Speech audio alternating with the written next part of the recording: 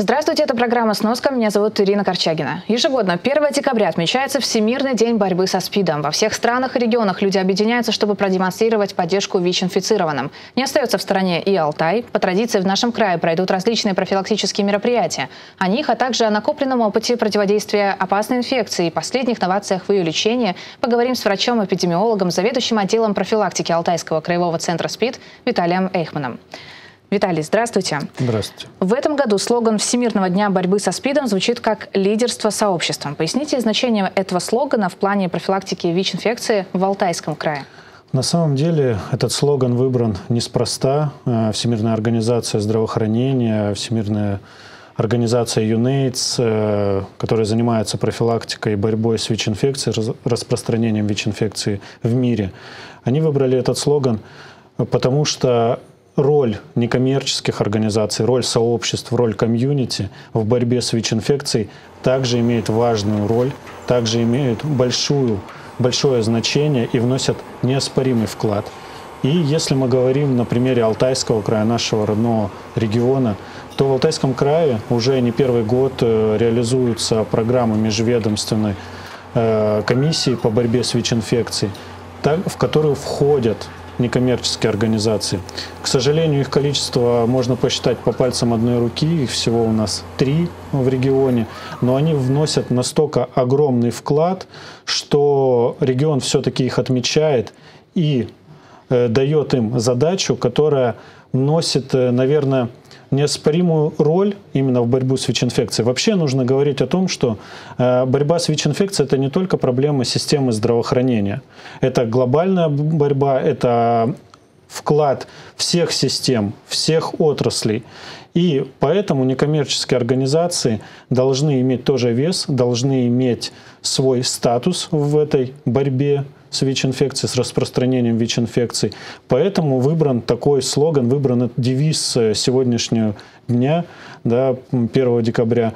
Поэтому мы отдаем, наверное, дань уважения тем сообществам, которые вносят неоспоримый вклад в развитие профилактических мероприятий. А какие вообще профилактические мероприятия у нас проводятся в Алтайском крае? И насколько они эффективны? Ведь вы же их проводите не только в неделю борьбы со СПИДом, но и как бы каждый год. Конечно. Ну, на самом деле, нужно сначала обговорить, что профилактические мероприятия делятся по группам. У нас есть первичная профилактика, вторичная и третичная профилактика.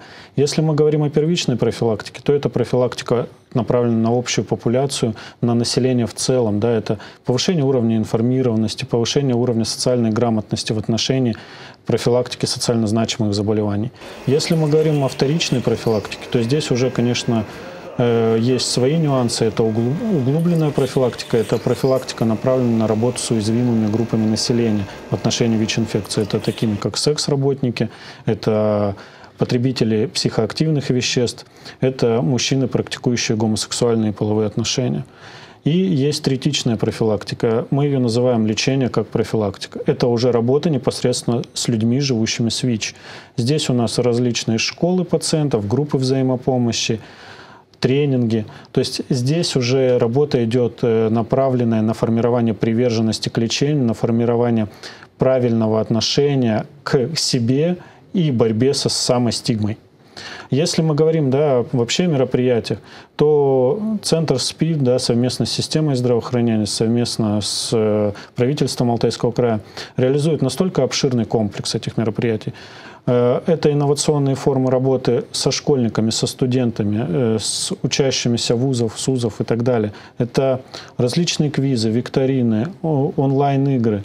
Если мы говорим о наших, так скажем, целевых группах э, взаимодействия, то это, конечно, у нас здесь больше идет тестирование на ВИЧ-инфекцию, да, это э, работа мобильных бригад, работа мобильного комплекса, которые у нас ополкали, наверное, весь уже Алтайский край. Э, в этом году мы достигли показателя 80% территорий, охвачено работой мобильных бригад. То есть эта работа у нас, она, наверное, самая важная, самая правильно, потому что сформировать доступность населения к услугам по профилактике ВИЧ-инфекции, по профилактике социально значимых заболеваний, это значит э, сформировать культуру здорового образа жизни. А вот эти мобильные бригады, это и есть вот этот проект экспресс-тестирования? Да. Это проект, который у нас начал реализацию в 2022 году, в начале 2022 года губернатор Алтайского края Виктор Петрович Томенко совместно с Министерством здравоохранения Алтайского края да, во главе с Дмитрием Владимировичем Поповым, они выделили средства на приобретение мобильного комплекса по экспресс-тестированию на ВИЧ. И сейчас этот мобильный комплекс, в принципе, работает, наверное, процентов на 100, отрабатывает свое значение.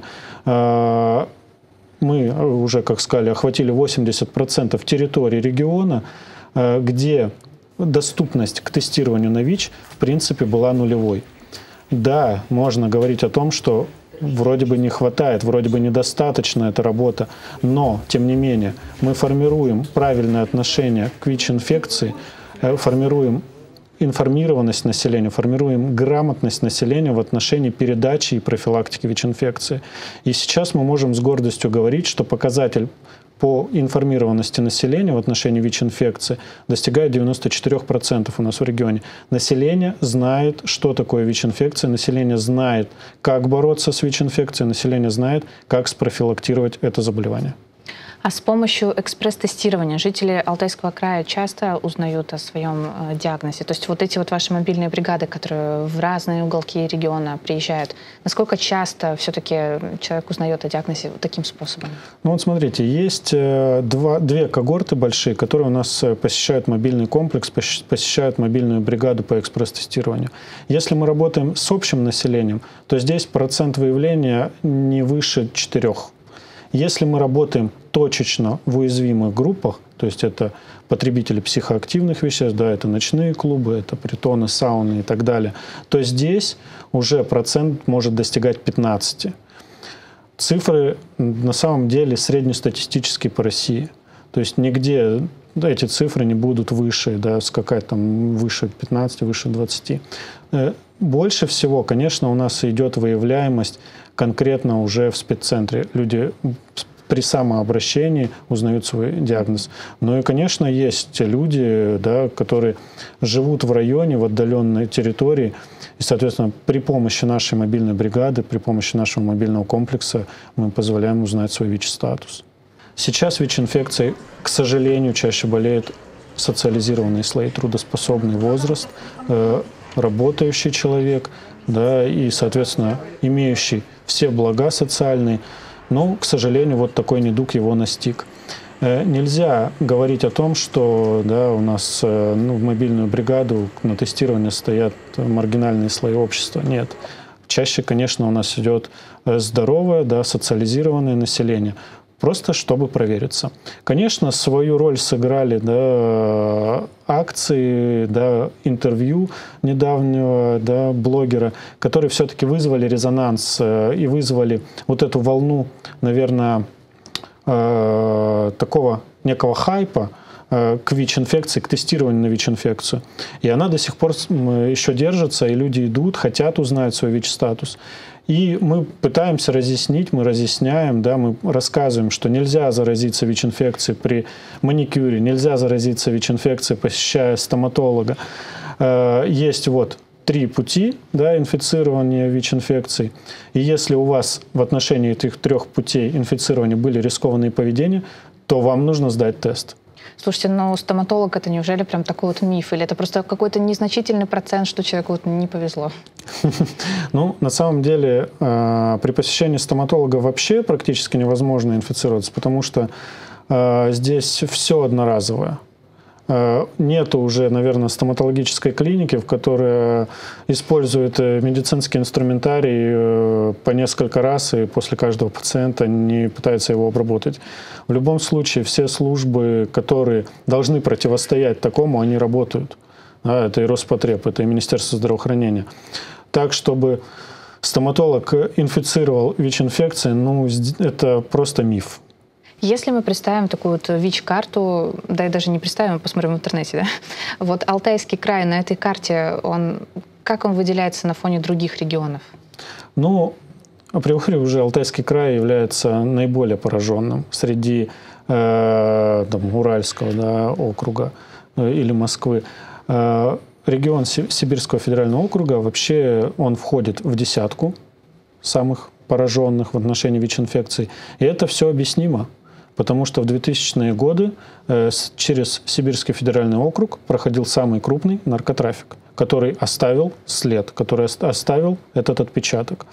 И сейчас Алтайский край находится в десятке да, высокопораженных. Самый высокопораженный это у нас Кемеровская область считается. И поэтому спеццентр да, совместно со всеми службами, и в том числе с некоммерческими организациями, делают все, чтобы эпидемию ВИЧ-инфекции на территории региона остановить. А вообще сколько сегодня жителей Алтайского края имеют ВИЧ-статус?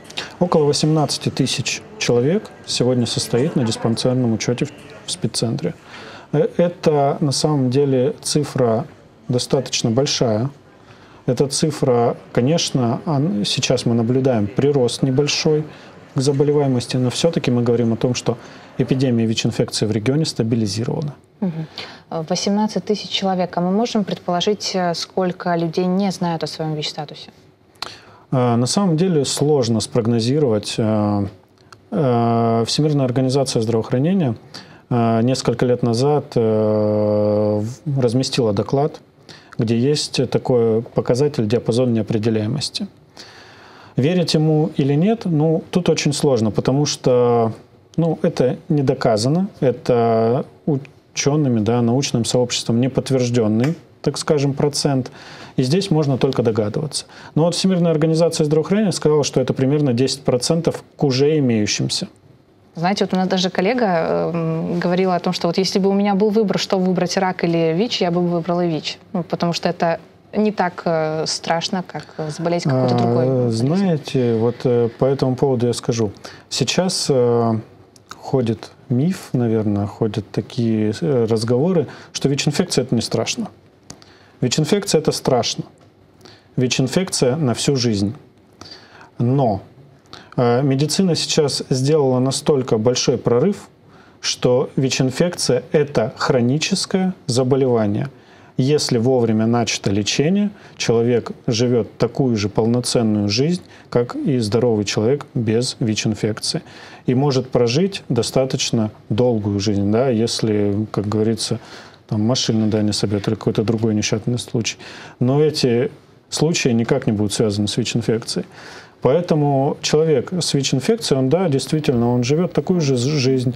Он принимая терапию, имея неопределяемую вирусную нагрузку, э, сформированной приверженностью к лечению, он ничем не опасен для окружающих. Он также может иметь здоровых детей, он может э, создавать семью и не быть для них какой-то угрозой.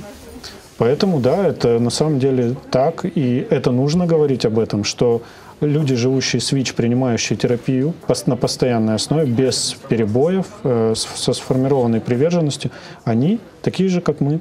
Как думаете, вот все-таки научному сообществу и человечеству получится ли когда-то победить этот вирус? И если да, то в какой, в какой перспективе? Насколько она далекая?